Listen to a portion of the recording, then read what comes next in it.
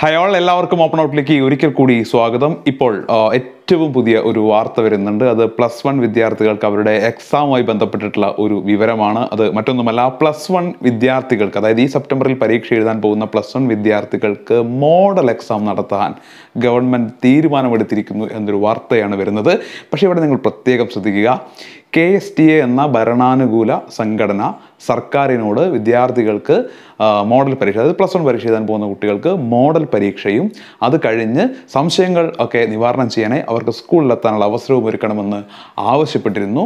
ഇതിന് ഈ ആവശ്യത്തോട് സർക്കാർ അനുകൂലമായി പ്രതികരിച്ചു. അതായത് പരീക്ഷ നടത്തുന്ന കാര്യത്തിൽ സർക്കാർ അനുകൂലമായി പ്രതികരിച്ചു എന്ന വാർത്തയാണ് ഇപ്പോൾ വരുന്നത്.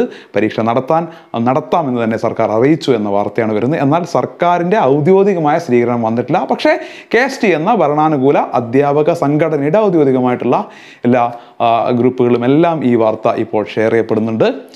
ഇത് സംശയ നിവാരണം എന്ന കാര്യത്തിനോട് സർക്കാർ എങ്ങനെയാണ് പ്രതികരിച്ചത് എന്ന കാര്യം വ്യക്തമല്ല. എന്നാൽ ഭരണാനുകൂല സംഘടനയായ കെ എസ് ടി എയുടെ അതായത് അധ്യാപക സംഘടനയാണ് കെ എസ് ടി നിങ്ങൾക്ക് എല്ലാവർക്കും അറിയാം അവരുടെ ആവശ്യപ്രകാരം തന്നെ അവരുടെ അഭ്യർത്ഥന പ്രകാരം തന്നെ മോഡൽ പരീക്ഷകൾ നടത്താൻ ഗവൺമെന്റ് തീരുമാനിച്ചു എന്ന വാർത്തയാണ് വരുന്നത്. ഇനി സർക്കാരിന്റെ ഒരു ഔദ്യോഗിക സ്ഥിരീകരണം ഇക്കാര്യത്തിൽ വരേണ്ടതുണ്ട്.